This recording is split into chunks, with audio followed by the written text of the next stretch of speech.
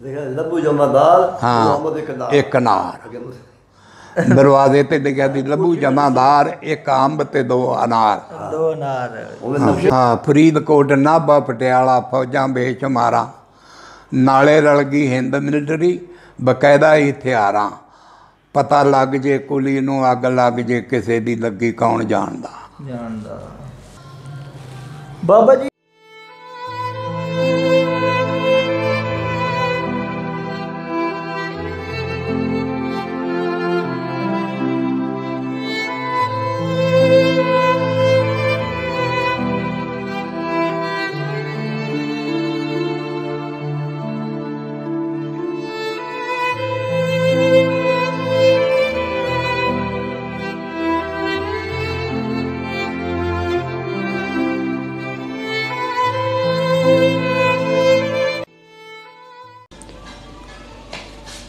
ਅਸਲਾਮ ਅਲੈਕੁਮ, ਸਤਿ ਸ੍ਰੀ ਅਕਾਲ, ਪ੍ਰਣਾਮ। ਮੈਂ ਹਾਂ ਤੁਹਾਡਾ ਮਿੱਤਰ ਯਾਸਰ ਅਬਦਾਲ ਡੋਗਰ ਤੇ ਅਸੀਂ ਅੱਜ ਦੇਸ਼, ਸਾਡਾ YouTube ਚੈਨਲ ਦੇਸ਼ ਪੰਜਾਬ ਜਿਹਦੀ ਪਹਿਲੀ ਬੈਠਕ ਹੀ ਅਸੀਂ ਆਪਣੇ ਬੁ- ਸ਼ਹਿਰ ਬੂਰੇਵਾਲਾ ਤੋਂ ਕਰ ਰਹੇ ਹਾਂ ਜੀ।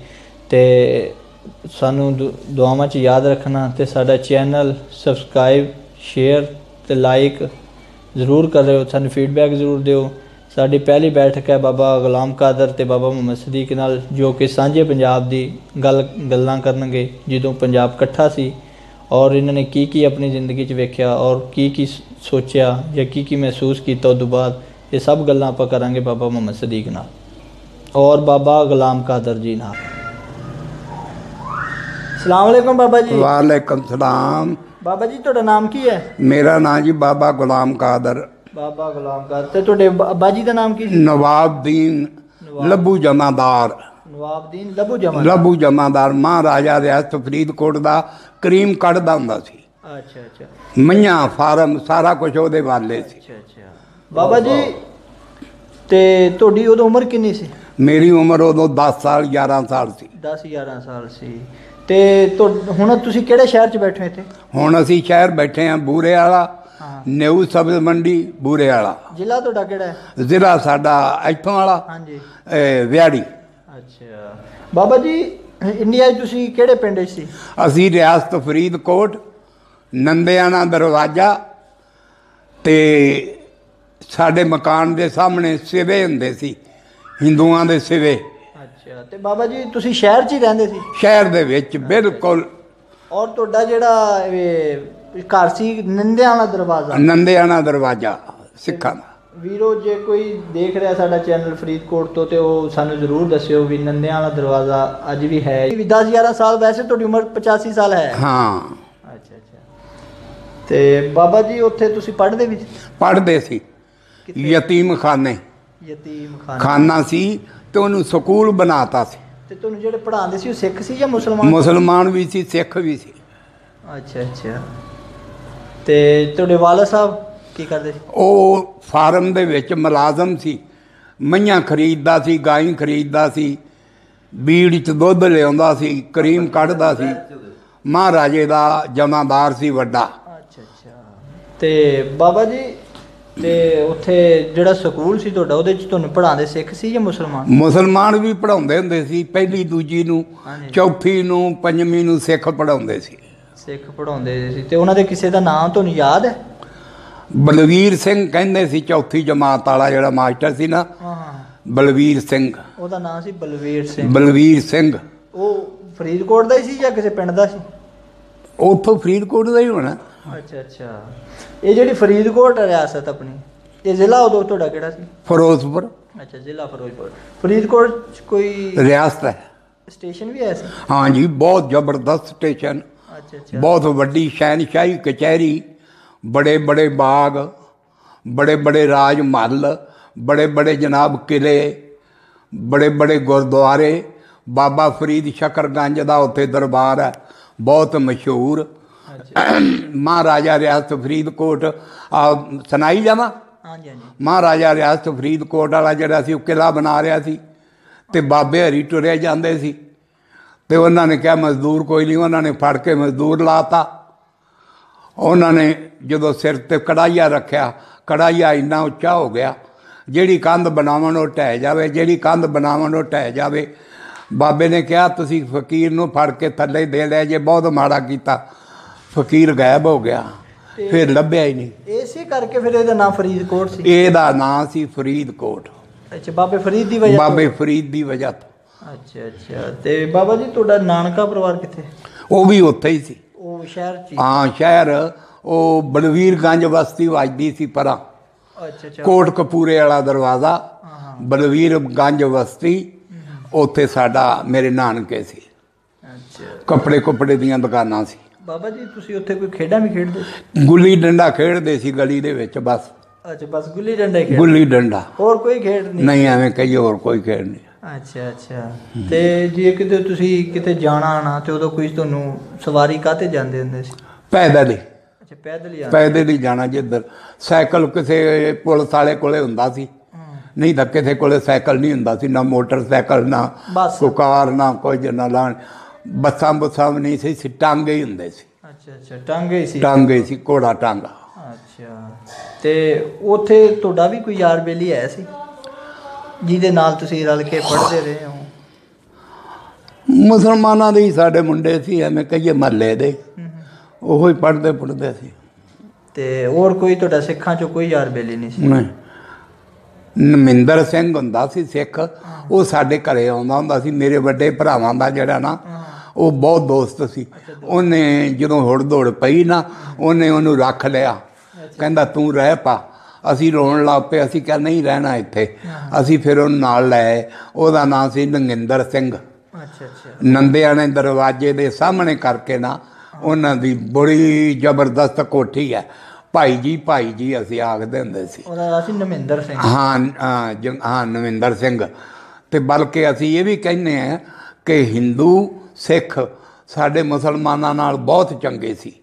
ਇੰਨੇ ਤੋ ਵੀਰੋ ਜੇ ਕੋਈ ਨਮਿੰਦਰ ਸਿੰਘ ਸੀ ਬਾਬਾ ਜੀ? ਹਾਂ ਨਵਿੰਦਰ ਸਿੰਘ। ਉਹਨਾਂ ਦੇ ਪਰਿਵਾਰ ਚ ਕੋਈ ਇਹ ਚੈਨਲ? ਦੇਖ ਰਿਹਾ ਤਾਂ ਜ਼ਰੂਰ ਸਾਨੂੰ ਕਮੈਂਟ ਕਰਿਓ ਤੇ ਜ਼ਰੂਰ ਅਸੀਂ ਗੱਲਬਾਤ ਬਾਬਾ ਜੀ ਨਾਲ ਤੁਹਾਡੀ ਕਰਵਾ ਦਾਂਗੇ। ਤੇ ਇੱਕ ਹਾਂਜੀ ਹਾਂਜੀ। ਇੱਕ ਸਾਡਾ ਹੋਰ ਬਹੁਤ ਵੱਡਾ ਹੁੰਦਾ ਸੀ ਇਹ ਸ਼ਾਂਤੀ ਰਾਮ। ਉਹਦੀ ਬਾਜ਼ਾਰ ਦੇ ਵਿੱਚ ਦੁਕਾਨ ਹੁੰਦੀ ਸੀ ਕਰੀਮ ਦੀ ਦੁੱਧ ਦੀ ਦਹੀਂ ਦੀ ਸ਼ਾਂਤੀ ਰਾਮ ਸੀ ਉਹ। ਉਹ ਮਹਾਰਾਜੇ ਦਾ ਦੁੱਧ ਖਰੀਦਦਾ ਹੁੰਦਾ ਸੀ। ਸ਼ਾਂਤੀ ਰਾਮ। ਉਹਦਾ ਨਾਮ ਸੀ ਸ਼ਾਂਤੀ ਰਾਮ। ਸ਼ਾਂਤੀ ਰਾਮ।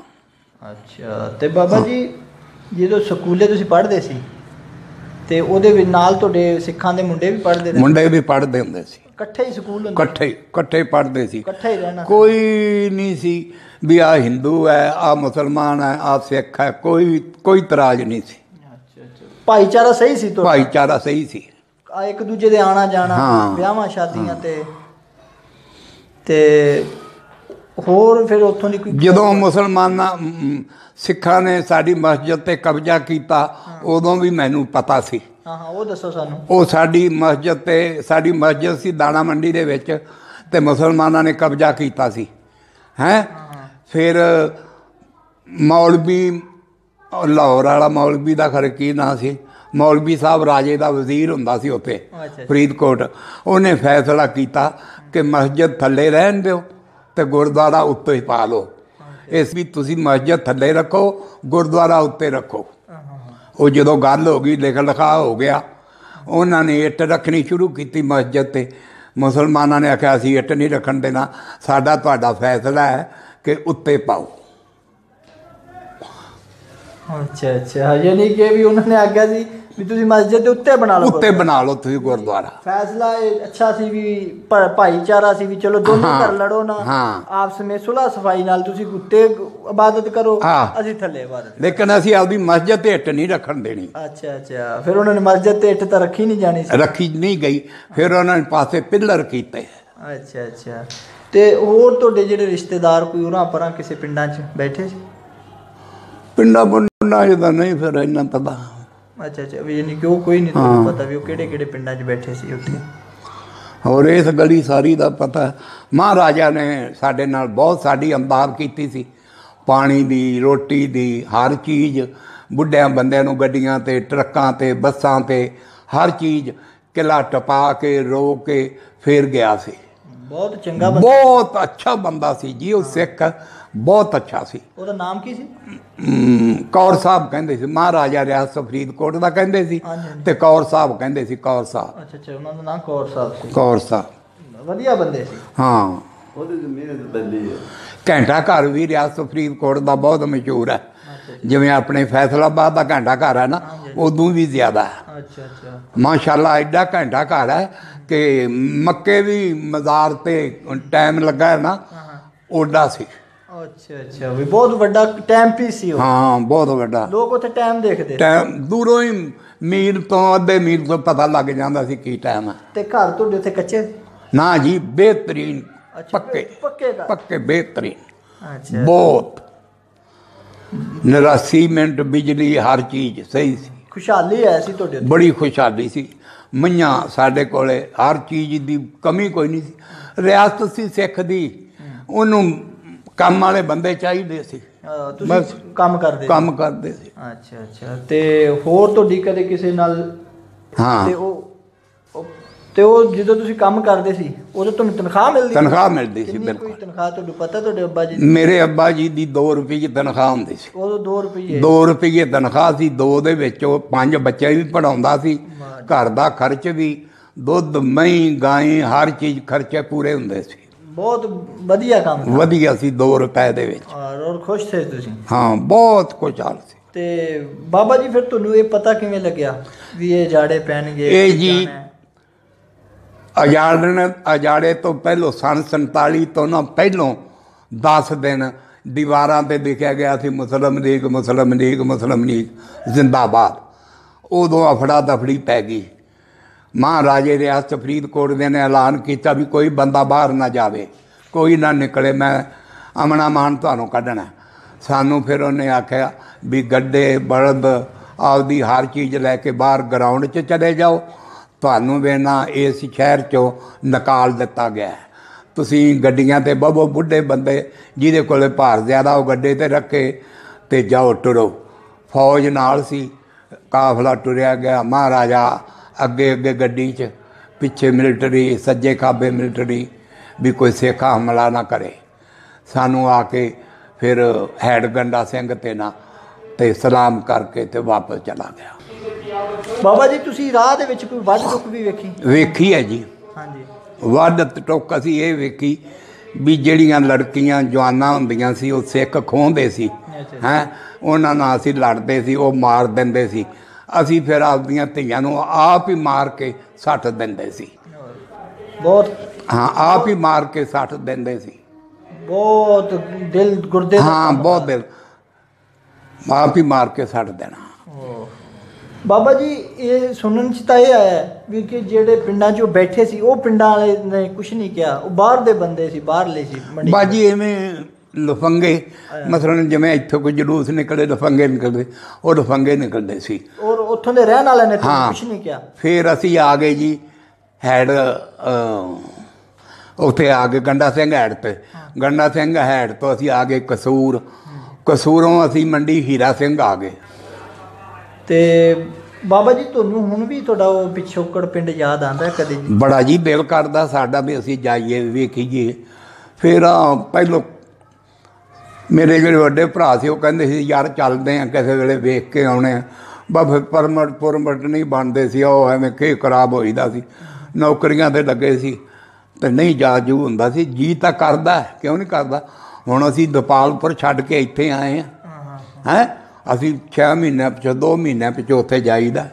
ਕਬਰਸਤਾਨ ਜਾਈਦਾ ਮੇਲੇ ਤੇ ਜਾਈਦਾ ਆਪਦਾ ਭੈਣਾਂ ਭਰਾਵਾਂ ਨੂੰ ਮਿਲਣ ਵਰਤਨ ਜਾਈਦਾ ਸਾਰਾ ਕੰਮ ਕਰੀਦਾ। ਤੇ ਜੀ ਕਰਦਾ ਕਿਉਂ ਨਹੀਂ ਕਰਦਾ?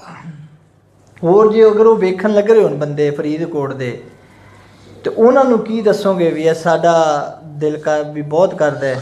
ਹਾਂ ਸਾਡਾ ਇਹ ਹੀ ਦਿਲ ਕਰਦਾ ਵੀ ਅਸੀਂ ਵੀ ਆਪਦੇ ਮਕਾਨ ਵੇਖੀਏ। ਦਿਲ ਉਹਨਾਂ ਦਾ ਵੀ ਕਰਦਾ ਵੀ ਅਸੀਂ ਵੀ ਆਪਦੀ ਜਾਇਦਾਦ ਜਾ ਕੇ ਵੇਖੀਏ। ਹਾਂਜੀ।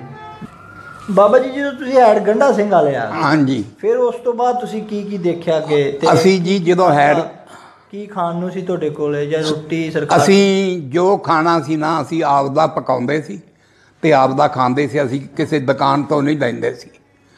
ਅਸੀਂ ਦਾਲ ਪਕਾਉਣੀ ਆਪਦੀ, ਰੋਟੀ ਪਕਾਉਣੀ ਅਸੀਂ ਆਪਦੀ। ਅਸੀਂ ਕਸੂਰੋਂ ਚੱਲੇ ਤੇ ਸਾਡੇ ਮਾਮਾ ਇੱਥੇ ਮੰਡੀ ਹੀਰਾ ਸਿੰਘ ਹੁੰਦਾ ਸੀ। ਪਟਵਾਰੀ ਸੀ। ਉਹਨੇ ਸਾਨੂੰ ਫਿਰ ਉੱਥੇ ਬਹਾ ਕੇ ਬੜੇ ਮਕਾਨ ਦਿੱਤੇ, ਰਾਸ਼ਨ ਦਿੱਤਾ, ਉਹ ਦਿੱਤਾ। ਸਾਡੇ ਜਿਹੜੇ ਵੱਡ ਵਡੇਰੇ ਸੀ, ਮੇਰੇ ਵੱਡੇ ਭਰਾ, ਉਹ ਸਟੇਸ਼ਨ ਤੇ ਖੇਡਣ ਗਏ, ਹੈ। ਉੱਥੇ ਤਹਿਸੀਲਦਾਰ ਦੀ ਕਚਹਿਰੀ ਲੱਗੀ ਸੀ, ਦੀਪਾਲਪੁਰ ਦੇ ਤਹਿਸੀਲਦਾਰ ਦੀ। ਜਦੋਂ ਉਹਨੇ ਵੇਖਿਆ ਵੀ ਪੈਂਟਾਂ ਵਾਲੇ ਮੁੰਡੇ ਨੀਕਰਾਂ, ਪਾਈਆਂ ਹਾਕੀ ਖੇਡਦੇ, ਬੜੇ ਖੂਬਸੂਰਤ ਹੈ, ਜਵਾਨ ਹੈ। ਉਹ ਉਸ ਨੇ ਕਿਹਾ ਵੀ ਅਸੀਂ ਤੁਹਾਨੂੰ ਨੌਕਰੀ ਦਿੰਦੇ ਹਾਂ, ਤੁਸੀਂ ਸਾਡੇ ਨਾਲ ਦਪਾਲਪੁਰ ਚੱਲੋ। ਅਸੀਂ ਜਨਾਬ, ਉਹਨਾਂ ਨੂੰ ਕਿਹਾ ਵੀ ਸਾਨੂੰ ਟਾਈਮ ਦੇ ਦਿਓ। ਅਸੀਂ ਜਨਾਬ ਟਾਈਮ ਲੈ ਲਿਆ ਅਸੀਂ ਦੂਸਰੇ ਦਿਨ ਟਰੱਕ ਦੇ ਵਿੱਚ ਸਮਾਨ ਰੱਖਿਆ। ਅਸੀਂ ਦਪਾਲਪੁਰ ਗਏ। ਦਪਾਲਪੁਰ ਗਏ ਸਾਂ। ਅਸੀਂ ਤਹਿਸੀਲਦਾਰ ਨੇ ਦੱਸਿਆ ਸੀ ਵੀ ਮੇਰਾ ਮਕਾਨ ਇੱਥੇ ਆ। ਉਸ ਮਕਾਨ ਤੇ ਗਏ। ਉਹਨਾਂ ਨੇ ਸਾਨੂੰ ਮੱਝਾਂ ਦਿੱਤੀਆਂ। ਉਹਨਾਂ ਨੇ ਸਾਨੂੰ ਬਲਦ ਦਿੱਤੇ। ਉਹਨਾਂ ਨੇ ਸਾਨੂੰ ਗੱਡੇ ਦਿੱਤੇ। ਉਹਨਾਂ ਨੇ ਸਾਨੂੰ ਕਣਕ ਦਿੱਤੀ। ਫਿਰ ਉਹਨਾਂ ਨੇ ਜਨਾਬ ਮਕਾਨ ਦਿੱਤੇ, ਨੌਕਰੀਆਂ ਦਿੱਤੀਆਂ। ਹਰ ਚੀਜ਼ ਦੀ ਸਾਡੀ ਅਮਦਾਦ ਉਹਨਾਂ ਨੇ ਕੀਤੀ ਵੀ ਤੁਸੀਂ ਟਿਕ ਜਾਓ। ਬਹਿ ਜਾਓ, ਇੱਕ ਤਾਂ ਬਹਿ ਜਾਓ। ਜਿੰਨੀ ਦੁਨੀਆ ਆਉਂਦੀ ਸੀ ਨਾ, ਇਹ ਫਿਰ ਜਿਹੜੇ ਇੱਧਰ ਦੇ ਅਫਸਰ ਸੀ ਨਾ, ਉਹ ਬਾਉਂਦੇ ਸੀ ਵੀ ਬਹਿ ਜਾਓ, ਟਿਕ ਜਾਓ, ਆਰਾਮ ਕਰੋ ਆਹ ਚੀਜ਼ ਲਓ ਆਹ ਚੀਜ਼ ਲਓ, ਸਭ ਕੁਝ ਮਿਲਦਾ ਸੀ। ਅੱਛਾ।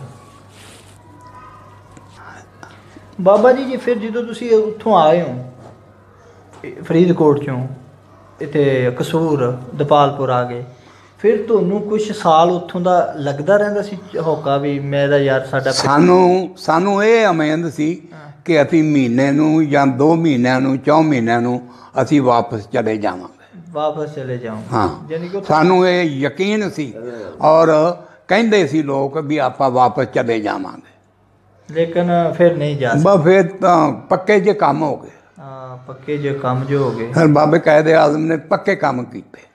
ਪੱਕੇ ਕੰਮ ਕੀਤੇ ਸੀ। ਤੇ ਬਾਕੀ ਗੱਲ ਇਹ ਆ ਵੀ ਆਪ- ਕੰਮ ਕਰਦੇ ਹਾਂ ਭਾਈਚਾਰੇ ਲਈ। ਹਾਂ। ਜਿਹੜਾ ਉਧਰਲੇ ਵੀ ਲੋਕ ਦੇਖਣ ਦੇ ਔਰ ਪਸੰਦ ਕਰਦੇ ਨੇ ਭਾਈਚਾਰਾ ਆਪਣੇ ਲੋਕ ਵੀ ਕਰਦੇ ਨੇ ਵੀ ਭਾਈਚਾਰਾ ਸਾਡਾ ਬਣਿਆ ਹੋਇਆ ਤਾਂ।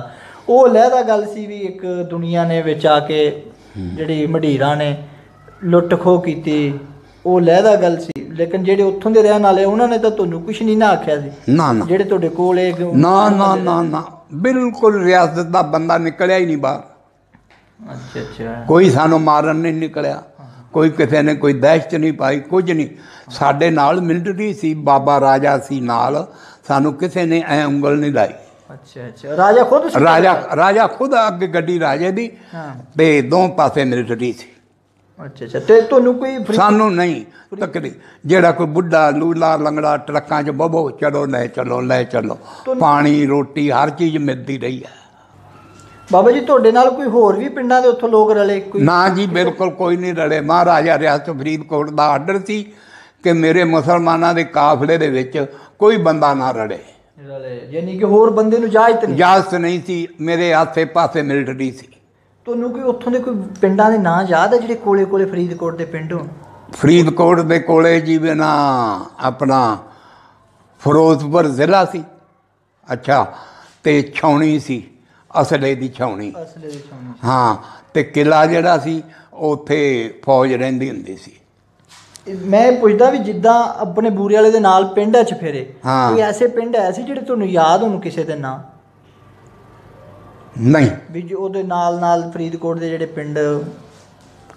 ਨਹੀਂ ਬਾ ਫਰੀਦਕੋਟੋਂ ਐਵੇਂ 6-7 ਮੀਲ ਫਿਰੋਜ਼ਪੁਰ ਸੀ। ਅੱਛਾ ਤੇ ਪਰਾਂ ਇਹਦੇ ਪਰਲੇ ਅਲਾਮ ਕਿਹੜੇ ਸ਼ਹਿਰ ਆਸੇ ਪਾਸੇ ਕੋਈ ਹੋਊਗਾ। ਹੋਰ ਕਿਹੜੇ ਕਿਹੜੇ ਸ਼ਹਿਰ ਸੀ ਕੋਲ ਤੁਹਾਡੇ? ਕੋਟ ਕਪੂਰਾ ਸੀ ਇੱਧਰ। ਅੱਛਾ। ਹਾਂ? ਰਾਜਿਆਣਾ ਕੋਟ ਕਪੂਰਾ। ਹੈ। ਅਗਾਂ ਲੁਧਿਆਣਾ ਜਲੰਧਰ। ਜਲੰਧਰ। ਫਿਰ ਤਾਂ ਬਹੁਤ ਦੂਰ ਚਲੇ ਗਏ ਨਾ। ਹਾਂ। ਵੀ ਨਾਲ ਨਾਲ ਜਿਹੜੇ ਸ਼ਹਿਰ ਪਿੰਡ ਸੀ। ਹਾਂ ਫਰੀਦਕੋਟ ਨਾਭਾ ਪਟਿਆਲਾ ਫੌਜਾਂ ਬੇਸ਼ੁਮਾਰਾਂ। ਨਾਲੇ ਰਲ ਗਈ ਹਿੰਦ ਮਿਲਟਰੀ ਬਕਾਇਦਾ ਹਥਿਆਰਾਂ।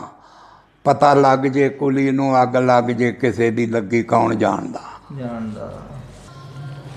ਬਾਬਾ ਜੀ ਇਹ ਜਿਹੜਾ ਭਾਣੇ ਉਦੋਂ ਵਰਤੇ ਚਾਹੀਦਾ ਇਹ ਸੀ ਵੀ ਚਲੋ ਪੰਜਾਬ ਬਣ ਗਿਆ ਥਾ। ਬਣ ਗਿਆ ਜੀ। ਤੇ ਅ, ਸੁਲ੍ਹਾ ਸਫ਼ਾਈ ਨਾਲ ਉਹ ਉਧਰ ਆ ਜਾਂਦੇ ਉਹ ਉਧਰ ਚਲੇ ਜਾਂਦੇ। ਕੋਈ ਕਿਸੇ ਨੂੰ ਮਾਰਨਾ ਨਹੀਂ ਚਾਹੁੰਦਾ। ਬਾਕੀ ਉਹ ਫਿਰ ਮਾਰਨ ਵਾਲਾ ਕੰਮ ਕਿਉਂ ਹੋਇਆ? ਮਾਰਨ ਵਾਲਾ ਕੰਮ ਇਹ ਹੈ ਵੀ ਮਹਾਰਾਜਾ ਦੇ ਫਰੀਦਕੋਟ ਨੇ ਆਪਦਾ ਕਾਫਲਾ ਅਮਨਾ ਮਾਨ ਸੜਕ ਤੇ ਲੈ ਸਾਡੇ ਫਰੀਦਕੋਟ ਰਿਆਸਤ ਦੇ ਵਿੱਚ ਇੱਕ ਚੂੜਿਆਂ ਦੀ ਝਾਲ ਹੁੰਦੀ ਸੀ, ਜਿੱਥੇ ਲੋਕ ਚੂੜੇ ਹੁੰਦੇ ਸੀ, ਜਿਨ੍ਹਾਂ ਨੂੰ ਕਹਿੰਦੇ ਸੀ ਬਾਵਰੀਏ। ਬਾਵਰੀਏ ਉਹ ਕੌਮ ਹੁੰਦੀ ਹੈ, ਸੱਪ ਖਾਂਦੀ ਹੈ ਤੇ ਗੋਹਾਂ ਖਾਂਦੇ ਹੈ, ਕੱਛੂ ਕੁੰਮੇ ਖਾਂਦੇ ਹੈ। ਉਹ ਬਾਵਰੀ ਲੋਕ, ਜਦੋਂ ਸਾਡਾ ਕਾਫਲਾ ਸੜਕ ਤੇ ਆਇਆ ਬਾਬਰੀ ਲੋਕ ਜਿਹੜੇ ਸੀ ਉਹ ਆਸੇ ਪਾਸੇ ਫਿਰਦੇ ਸੀ। ਮਹਾਰਾਜੇ ਨੇ ਆਰਡਰ ਦਿੱਤਾ ਕਿ ਮੇਰੇ ਕਾਫਲੇ ਦੇ ਵਿੱਚ ਕੋਈ ਚੂੜਾ ਨਾ ਆਵੇ। ਉਹਨਾਂ ਨੇ ਵੱਢ ਟੁੱਕ ਕੀਤੀ ਹੈ। ਸਾਡੇ ਰਿਆਸਤ ਫਰੀਦਕੋਟ ਵਾਲਿਆਂ ਸਿੱਖਾਂ ਨੇ ਭਾਈ ਜੀ ਹਰਿਆਂ ਨੇ ਇਹਨਾਂ ਨੇ ਸਾਡੇ ਤੇ ਕੋਈ ਕਦਮ ਨਹੀਂ ਚੱਕਿਆ। ਤੇ ਹੁਣ ਤੁਹਾਨੂੰ ਕਦੇ ਸੁਪਨਾ ਆਇਆ ਉੱਥੋਂ ਦਾ? ਸੁਪਨੇ ਆਉਂਦੇ ਰਹਿੰਦੇ ਐਵੇਂ ਸੁਪਨੇ ਨੂੰ ਆਖੀ ਦਾ ਵੀ ਕਿਹਾ ਜੀ ਮਹਾਰਾਜਾ ਰਿਆਸਤ ਫਰੀਦਕੋਟ ਦਾ ਇੱਕ ਬੜੀ ਚੀਜ਼ ਸੀ। ਸਟੇਸ਼ਨ ਬੜਾ ਖੂਬਸੂਰਤ ਸੀ ਕਚਹਿਰੀ ਬੜੀ ਖੂਬਸੂਰਤ ਸੀ। ਜਿਸ ਤਰ੍ਹਾਂ ਤੁਸੀਂ ਆ ਵੇਖ ਲਓ ਬਾਵਲਪੁਰ ਹੈ ਨਾ? ਬਾਵਲਪੁਰ ਤੇ ਰਿਆਸਤ ਫਰੀਦਕੋਟ ਇੱਕ ਹੈ।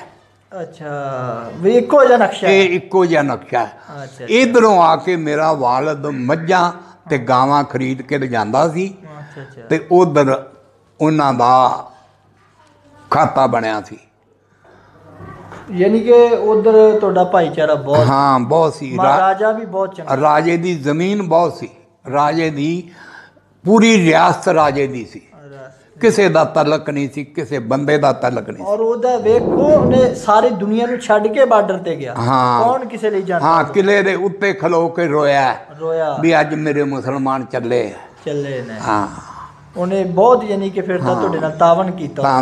ਉਹਨਾਂ ਨੂੰ ਨਹੀਂ ਭੁੱਲਦੇ ਤੁਸੀਂ। ਹਾਂ। ਉਹ ਤੁਸੀਂ ਆਪ ਵੀ ਦੇਖਿਆ ਆਪਣੀ ਅੱਖਾਂ ਨਾਲ? ਰਾਜਾ ਜੀ ਹਾਂ ਕੋਠੇ ਤੇ ਖੜਾ ਬਿਲਕੁਲ ਆਪ ਵੇਖਿਆ। ਪੈਂਟ ਪਾਈ। ਬੂ ਸ਼ਰਟ ਪਾਈ ਰਮਾਲ ਅੱਖਾਂ ਨਾਲ ਐਂ ਪੁੰਜੀ ਜਾਵੇ। ਰੋਂਦਾ ਸੀ। ਰਮਾਲ ਰੋਵੇ ਪਿਆ। ਮੁਸਲਮਾਨ ਵੀ ਰੋਂਦੇ ਸੀ। ਸਾਡੇ ਜਿਹੜੇ ਵੱਡੇ ਸੀ ਉਹ ਰੋਂਦੇ ਸੀ। ਤੁਹਾਡਾ ਘਰ ਯਾਨੀ ਕਿ ਫਿਰ ਨੰਦਿਆਂ ਦਾ ਦਰਵਾਜ਼ੇ ਨੰਦਿਆਣਾ ਦਰਵਾਜ਼ਾ ਸੀ ਤੇ ਇਹਨਾਂ ਹਿੰਦੂਆਂ ਦੇ ਸਿਵੇ ਹੁੰਦੇ ਸੀ ਸਾਹਮਣੇ। ਅੱਛਾ ਅੱਛਾ। ਉਹ ਸਿਵੇ ਚ ਸਾੜਦੇ ਹੁੰਦੇ ਸੀ। ਦੇਖਿਆ ਲੱਭੂ ਜਮਾਦਾਰ ਹਾਂ ਮੁਹੰਮਦ ਇਕਦਾਰ ਇੱਕ ਨਾਰ।